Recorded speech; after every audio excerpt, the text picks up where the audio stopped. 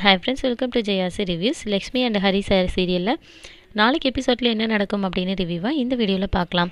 So Santhosh வந்து அவங்க எம்டியோட ரூமுக்கு வராங்க எம்டி ரூமுக்கு வந்துட்டு அவங்க வந்து உட்கார சொல்கிறாங்க என்ன சார் என்ன சந்தோஷ் என்ன விஷயம்னு கேட்குறாங்க இல்லை சார் இப்போ கேன்டீனில் டீ இதுக்கு வந்திருக்குது எங்கள் அம்மா சார் அப்படிங்கிறாங்க. தெரியும் சந்தோஷ் அதனால் என்ன? அப்படின்னு கேட்குறாங்க இல்லை சார் எங்கள் அம்மா வந்து வேணும்னே இப்படி பண்ணுறாங்க சார் ஆக்சுவலாக ஃபேமிலிக்குள்ளே ஒரு பிரச்சனை சார் எனக்கும் எங்கள் அம்மாவுக்கும் கொஞ்சம் ஒத்து வரல. அவங்க என் மேலே உள்ள கோவத்தில் தான் இந்த மாதிரி என்னோடய ஆஃபீஸ்லேயே டீ யாத்திரைக்கு வந்திருக்காங்க சார் அப்படின்னு சொல்கிறாங்க உடனே என்ன சந்தோஷ் இப்படி பேசுகிறீங்க அப்படின்னு சொல்கிறாங்க ஆமாம் சார் எனக்கு எங்கள் அம்மா இங்கே வந்து டீ யாத்திரதில் எனக்கு இஷ்டம் இல்லை சார் தயவு செஞ்சு கொஞ்சம் எங்கள் அம்மாவோட வெண்டரை வந்து கேன்சல் பண்ணிடுங்க சார் என்னோட இது ரெக்யூஸ்ட் அப்படின்னு சொல்கிறாங்க என்ன இப்படி சொல்கிறீங்க டீ யாத்திரதில் என்ன கௌரவம் இருக்குது வேலையில் என்ன கௌரவம் நீங்கள் பார்க்குறீங்க சந்தோஷ்? டீ யாத்திரது வந்து கௌரவம் இல்லாதது அப்படின்னு சொல்லி யார் சொன்னா அப்படின்னு வந்து எம்டி கேட்குறாங்க டீ யாத்திரை எவ்வளோ பேர் எவ்வளோ பெரிய வேலையில் இருக்காங்கன்னு உங்களுக்கு தெரியும் இல்லை அப்படின்னு சொல்லி சொல்கிறாங்க ஆமாம் உங்களுக்கு என்ன அவ்வளோ பெரிய இது? டீ யாத்திரை அவ்வளோ கேவலமான விஷயம்லாம் கிடையாது சந்தோஷ். இங்கே பாருங்கள் அது மட்டும் இல்லாமல் இந்த ஒரு நாள்லையே அவங்க ஆஃபீஸில் டீ போடுறது அவங்க அணுமுக அணுகுமுறை எல்லாத்தையுமே வந்து எம்ப்ளாயீஸ்லாம் வந்து பேச தொடங்கிட்டாங்க. அதை விடுங்க பர்சனலாக எனக்கே உங்கள் அம்மா மேலே வந்து ஒரு பெரிய அணுகு இது வந்திருக்கு. எனக்கு எங்கள் அம்மாவை பார்த்த மாதிரி இருக்குது உங்கள் அம்மாவை பார்க்குறதுக்கு. நீங்கள் நினைக்கிற மாதிரி அப்படியெல்லாம் உடனடியாக மாற்றலாம் முடியாது சந்தோஷ் அப்படிங்கிறாங்க. இங்கே பாருங்கள் சார் இத்தனை வருஷம் நான் அந்த கம்பெனியில் வேலை பார்த்துருக்கேங்கிறதுக்காக நான் உங்ககிட்ட ஒரு சின்ன ரெக்யூஸ்டாக தான் சார் இதை கேட்குறேன். தயவு செஞ்சு நான் வேலை பார்க்குற இடத்துல எங்கள் அம்மா டீ ஆத்துறதுங்கிறது எனக்கு சுத்தமாக பிடிக்கல சார் அப்படின்னு சொல்கிறாங்க ஒன்று அவங்க வந்து ஃபைலை பார்த்துட்டு இங்கே பாருங்கள் சந்தோஷ் எம்ப்ளாயி கூட டக்குன்னு மாற்றிடலாம் வெண்டாரெல்லாம் அப்படி நீங்கள் நினைக்கிறது மாதிரி என்னாலலாம் சீக்கிரம் மாற்ற முடியாது நீங்கள் கிளம்பலாம் அப்படின்னு சொல்லிடுறாங்க. அப்புறம் சந்தோஷ் வந்து வெளியே வந்துடுறாங்க.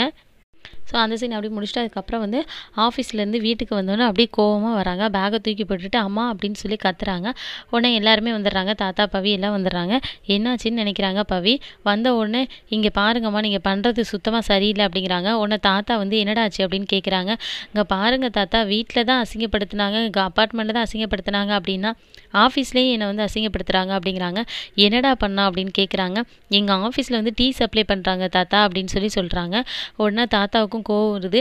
என்னது இது? வீ இவ்வளோ பெரிய களங்கத்தை ஏற்படுத்திட்டோமேன்னு சொல்லி வீட்டில் ஒரு மூலையில் அடங்கி உட்கிறத விட்டுட்டு திருப்பி என்ன வீட்டை டீ அனுப்ப டீ சப்ளை பண்ணுறேன்னு சொல்லி ஆஃபீஸ்க்குலாம் போகிற இதெல்லாம் தேவையா இவளுக்கு? அப்படின்னு சொல்லி வந்து கத்துறாங்க. உன்னை பவி திரும்ப திட்டுறாங்க. இங்கே பாரு சந்தோஷ் நம்ம எல்லோரும் வேலைக்கு போகிற மாதிரி அத்தையும் வேலைக்கு போகிறாங்க இதில் என்ன தப்பு இருக்குது அப்படின்னு பவி கேட்குறாங்க உன்னை தாத்தா பார்த்தியடா உன் பொண்டாட்டியை இவளுக்கு சப்போர்ட் பண்ணுறா முதல்ல உன் பொண்டாட்டியை அடக்கி வை அப்படின்னு சொல்கிறாங்க உன்னை பவி வந்து திருப்பியும் கத்துறாங்க. இங்கே பாருடா அத்தை டீ அத்தை பொருள் உனக்கு என்னடா வந்துச்சு அப்படின்னு சொல்லி சொல்கிறாங்க அவங்க டீ இது பண்ணுறது எனக்கு கேவலமாக இருக்குது அப்படிங்கிறாங்க. அதுவும் எங்கள் ஆஃபீஸில் பண்ணுறது எனக்கு சுத்தமாகவே பிடிக்கல அப்படிங்கிறாங்க.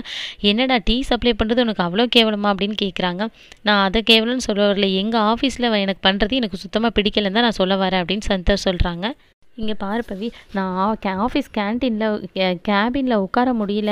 பியூன்லேருந்து எம்டி வரைக்கும் எல்லோரும் உங்கள் அம்மா போட்ட டீ சூப்பர் உங்கள் அம்மா போட்ட டீ சூப்பர் டீயே இவ்வளோ சூப்பராக இருக்குன்னா டிஃபன்லாம் எவ்வளோ நல்லா பண்ணுவாங்க அப்படின்னு சொல்கிறானுங்க இது நல்ல விதமாக சொல்கிறானுங்களா எனக்கு அடுப்பேத்துறதுக்கு சொல்கிறானுங்க நானே எனக்கு தெரியல அப்படின்னு கத்துறாங்க. உடனே தாத்தா வந்து சொல்கிறாங்க இங்கே பாரு பிள்ளையை அசிங்கப்படுத்தி அவமானப்படுத்துறது உனக்கு என்ன அவ்வளோ பெரிய சந்தோஷம் கிடச்சிருச்சு?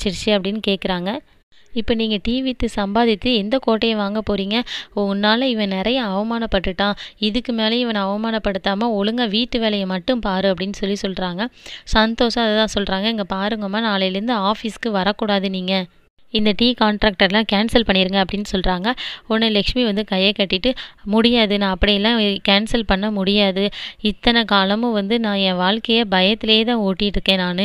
பிள்ளை என்ன சொல்லுவானோன்னு பயந்து மாமனார் என்ன சொல்லுவாரோன்னு பயந்து அக்கம் பக்கத்தில் உள்ளவங்க என்ன சொல்லுவாங்களோன்னு பயந்து பயந்து பயந்தே தான் என் வாழ்க்கையை ஓட்டியிருக்கிறேன். முத முறையாக நான் எனக்காக என்னோட சுயகருத்துக்காக என்னோட தேவைக்காக நான் வந்து வேலைக்கு போக போகிறேன் போயிருக்கேன்.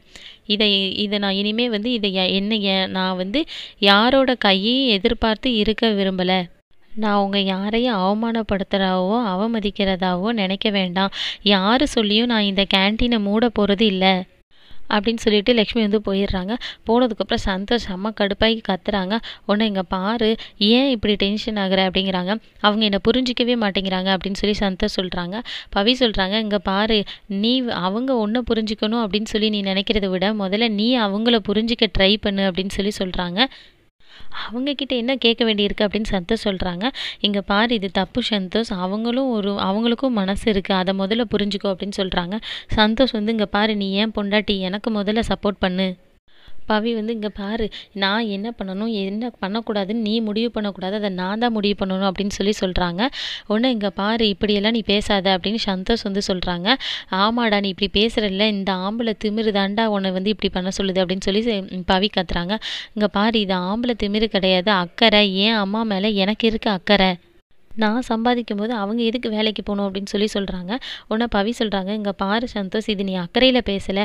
நீ வேலைக்கு போய் சம்பாதிச்சு அவங்களுக்கு கொடுக்கும்போது நீ சொல்கிறத அவங்க கேட்கணும். இதே இது அவங்க வேலைக்கு போயிட்டாங்கன்னா அவங்க வந்து நீ சொல்கிறத கேட்க மாட்டேங்கிறாங்கங்கிற ஒரு இதில் தான் நீ திமிரில் தான் நீ பேசுகிற அப்படின்னு சொல்லி பவி சொல்கிறாங்க உன்னை சந்தோஷ் சொல்கிறாங்க இங்கே பாரு பவி அப்படி பார்த்தா நான் உன்னை என்னைக்காட்டு வேலைக்கு போக வேண்டாம்னு சொல்லியிருக்கேன் நான் இது வரைக்கும் அப்படின்னு சொல்லி சொல்கிறாங்க உன்னை பவி சொல்கிறாங்க பாத்தியா இப்போ கூட நீ பெர்மிஷன் கொடுத்து என்னமோ நான் வேலைக்கு போகணுங்கிற மாதிரி நீ பேசுகிற பார்த்தியா அப்படிங்கிறாங்க.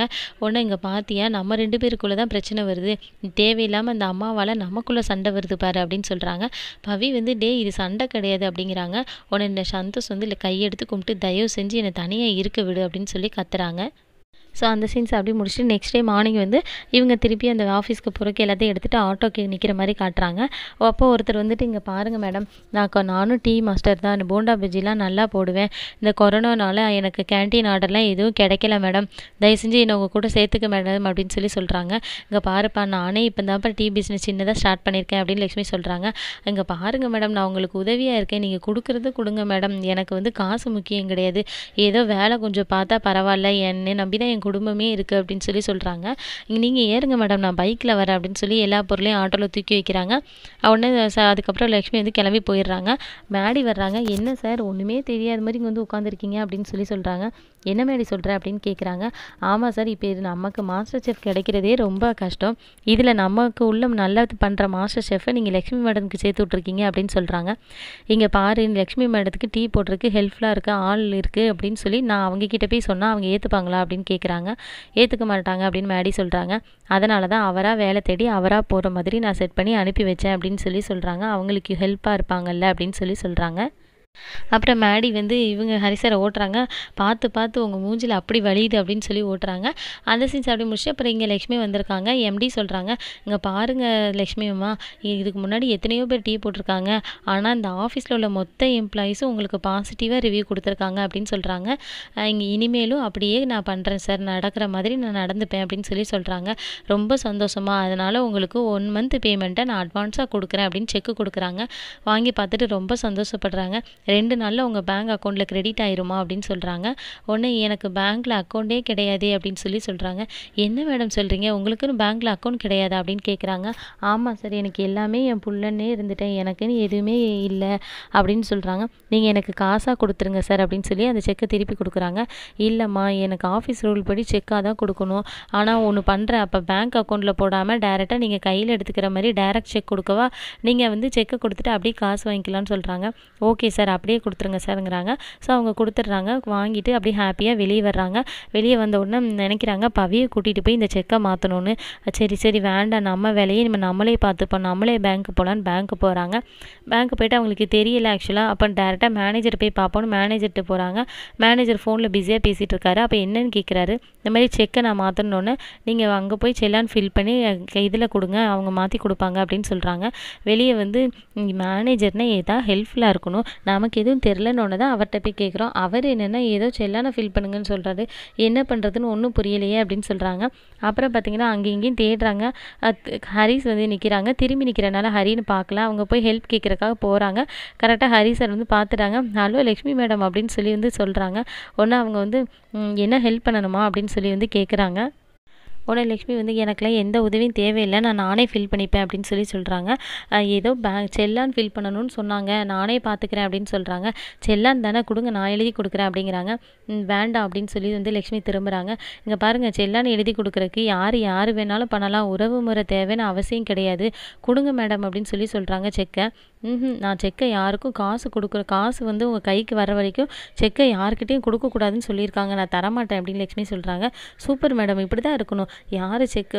இவங்க பேங்க்கோட பாஸ்புக் ஓடிபி பாஸ்புக் நம்பரு ஏதாச்சும் கேட்டாலும் ஒன்றுமே கொடுக்கக்கூடாது. சரியா? இப்படி தான் இருக்கணும் அப்படின்னு சொல்கிறாங்க உடனே செல்லான் ஃபில் பண்ணிட்டுருக்கு வேணும்னே வந்து ஹரி கேட்குறாங்க ஆமாம் உங்கள் பேர் என்ன? நான் செல்லானில் ஃபில் பண்ணணும் அப்படின்னு கேட்குறாங்க உடனே லக்ஷ்மி முறைச்சிட்டு லக்ஷ்மி அப்படின்னு சொல்லி சொல்கிறாங்க அந்த மாதிரி தான் எபிசோட் வந்துட்டு முடிச்சிருக்காங்க. வெயிட் பண்ணி பார்க்கலாம் ஃப்ரெண்ட்ஸ் எபிசோட் வந்து எப்படி கொண்டு போகிறாங்க அப்படின்னு. உங்களுக்கு இந்த வீடியோ பிடிச்சிருந்தா லைக் பண்ணுங்கள் அண்ட் மறக்காமல் சப்ஸ்கிரைப் பண்ணுங்கள் தேங்க்ஸ் ஃபார் வாட்சிங்